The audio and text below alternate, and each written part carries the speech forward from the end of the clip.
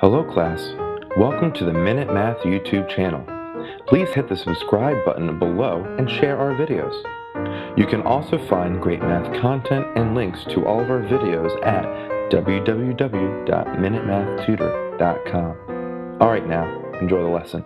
Hi, I'm Sean Gannon, and this is Minute Math, and today we're learning about multiplying, dividing fractions, and mixed numbers, finding each product. So, if I was given these numbers, negative 1 and 5 sevenths times a negative 2 and 1 half, okay? Well, first thing, I'm going to convert each one of these to a improper fraction. So, 7 times 1 is 7, plus 5 is 12. So negative 12 over 7. Don't forget the negative. 2 times 2 is 4, plus 1 is 5. 5 over 2, don't forget that negative. All right, so now I'm going to see if I can simplify these fractions. Okay, 2 goes into 12, right? So 1 here, 12 becomes a 6. 12 divided by 2 is a 6. Okay, so now let's go multiply across the numerator and across the denominator. Well, 6 you can see here 6 times 5 is 30, and 7 times 1 is 7, and a negative times a negative is good old positive. So we have positive 30 over 7, okay?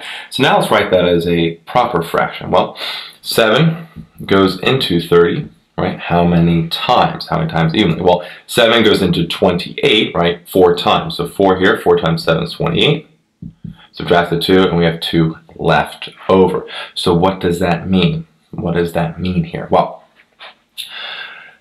4 is a whole number out there, 2 being the remainder, the top of the fraction, and 7 still the divisor. 7. So our final answer here is just a positive 4 and 2 sevenths.